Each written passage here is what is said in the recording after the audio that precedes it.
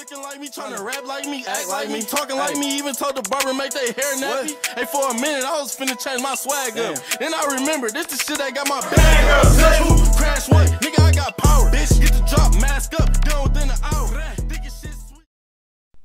What's good, y'all? It's your main man, Deykwon, and I'm back with another video for y'all. And in this video, we're gonna be talking about part three of our Become a Demigod Slasher series.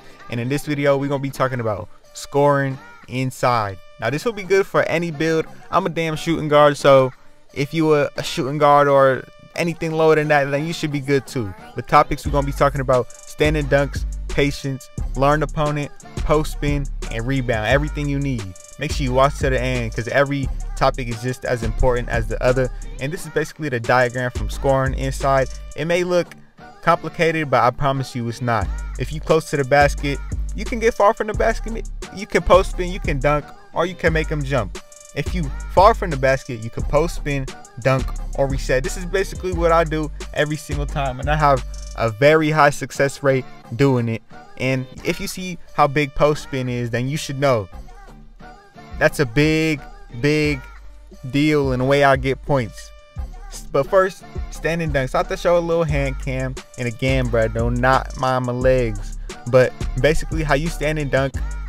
Top, this is basically the way how to get standing contact dunks. And don't mind the camera, bro. I was recording this bitch on my mouth. On my mouth. I kept zooming in and out. But you basically just want to hold both sticks up and both triggers down. This will get you, if there's a, a person in front of you, a standing contact dunk.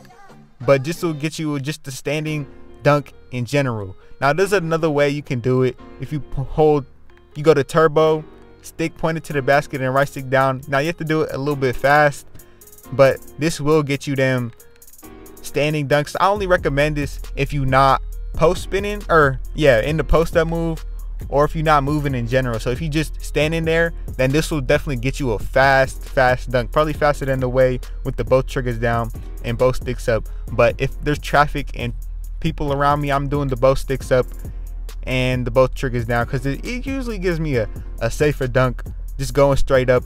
Whereas the other one will probably get me a a boost dunk. Say I'm standing far out, it'd probably boost me straight to the basket. But the first topic we're gonna be we gonna be talking about is patience, bruh. Every time you scoring in the paint or just inside in general, you need patience. That first bucket, that first time, that first attempt that you could go up from the basket, it, it's probably 80% that you not gonna get it.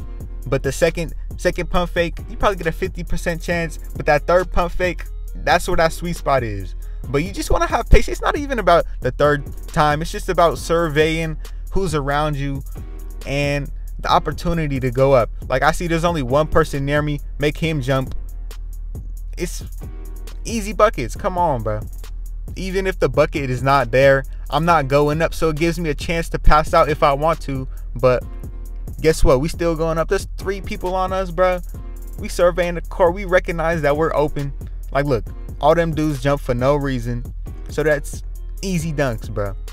When you keep scoring over and over again, their patience goes very low. And look right here, this dude had a rim take. He wanted to block me so bad, but we knew he was gonna jump. We knew he was gonna jump. But second topic or third topic, learn your opponent. If you learn your opponent, I promise you, your success rate will go up. You could probably learn your opponent after the maybe first three moves. Like right here, we knew this dude was not gonna jump. He's a center. He thinks he's gonna block us. He thinks he has that that contest. But no, we can still stand and duck. We can still stand and lay up on him, push him out the way just a little bit. And again, that magic number three, they gonna jump off that number three, bro. I promise you. Like, look, we gonna show you. We gonna break it down. Look, this is number one. Number two of the attempts he thinks we're gonna go up, and this is number three. He gonna go up. Come on, it's simple math. You can really learn any opponent with that magic number three number. Test it, test it out one or two times. See how good it works for you. Like boom, we don't even need to go up three times. These dudes jumping already. They know what it was. They know who's gonna boom on their head. Like come on, look, dude's still jumping, bro. We just gotta wait for that perfect time to go up, and we in there. But fourth one, post spinning. This is huge right here. If you don't know how to post spin, you need to learn. Working your way around the post, once you learn how to do that, everything becomes gravy for you. what post spinning allows you to do is it allows you to change direction of your speed and momentum very quick. As you can see right there, we was running very fast. We hit him with a post spin, stopped, post spin go, and look right here. We in a small, steady animation, just neutral right there. We was neutral. We hit him with that speed boost, post spin, post cheese, whatever you want to call it, and we was straight to the basket. Like right here, we got the rebound.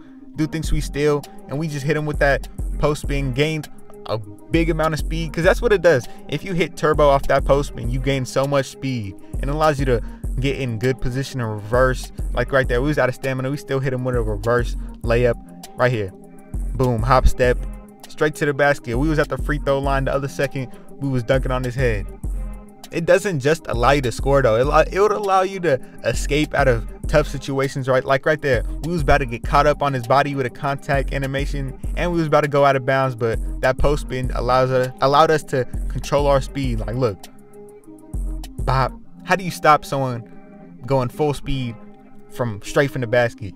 But last one, rebound. I think this is the last one, but rebound. I basically go up straight up off a rebound just because of the animation they usually give you. They usually give you some fast, fast animations. And usually when there's a rebound, the person doesn't know if you're going to get the rebound or if they're going to get the rebound. So it just heightens your chance of making a shot after a rebound goes up in the air. Now it is situational. You are gonna have to survey your court. You can't just go up straight as soon as you get the rebound. Now that's what I typically do, but still survey your court. It might not look like that dunk was there, but it was there, bro. You have to recognize what your player can do, and just off of that, it'll heighten your success rate. And this will too, of getting points. And like, look right here, we go up for a dunk, we get hold, we just go straight up. It gives us that nice, quick, fast animation. And that with that standing dunk uh, method I showed you in the beginning, how you just standing still. But that's basically what the position they put you when you when you get that rebound. You're not moving at all. You just you went up. You're just standing there. So basically, you just go straight up and boom, you get the easy dunk or lay. Sometimes I even take the ball out, hit him with a post spin. After right after I get the rebound, take the ball out, post spin right back into the paint because they can't stop me and boom, it's that easy. But if you enjoyed the video, make sure you like, comment, and subscribe, and I'm out.